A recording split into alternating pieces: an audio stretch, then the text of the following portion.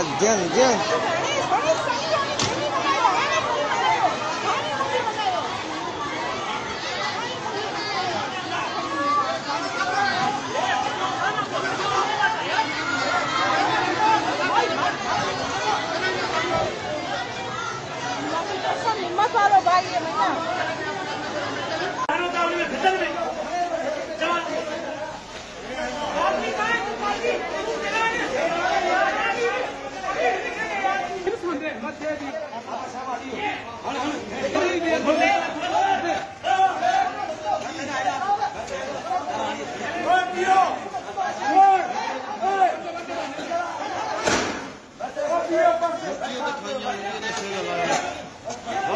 असर की नमाज़ एक एक मिनट एक मिनट।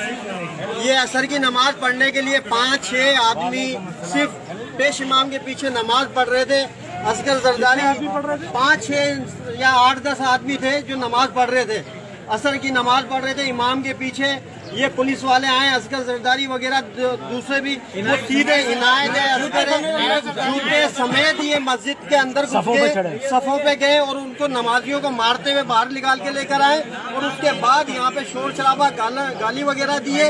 इस तरीके से फायरिंग कर रहे थे जिस तरीके से हम मकबूजा कश्मीर में रहते हैं या हम फलस्तीन के अंदर रह रहे हैं या हम किसी और इलाके में रह रहे हैं कि हम जैसा ये हमारी पुलिस नहीं है ये रेंजर्स आर्मी हमारी मदद के लिए कब आएगी? इस्लामी इस्लामी मामला के अंदर वो हमारे पे फायरिंगें कर रही है।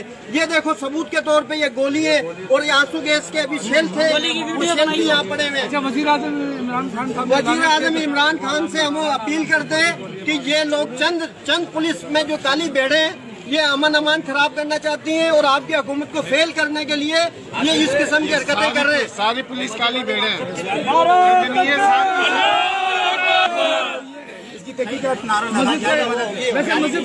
ऐलान तो मस्जिद खोलने का ऐलान तो कर दिया था ना मस्जिद में नमाज़ पढ़ी जाए जबकि इधर के इधर के लोगों को ज़्यादातर यही इलम है कि कल कल जो है ऐलान कर दिया था मस्जिद खोल दी गई है जिसकी वजह से लोग नमाज़ पढ़ने के लिए बाजमात मस्जिदों में जाने के लिए आए थे।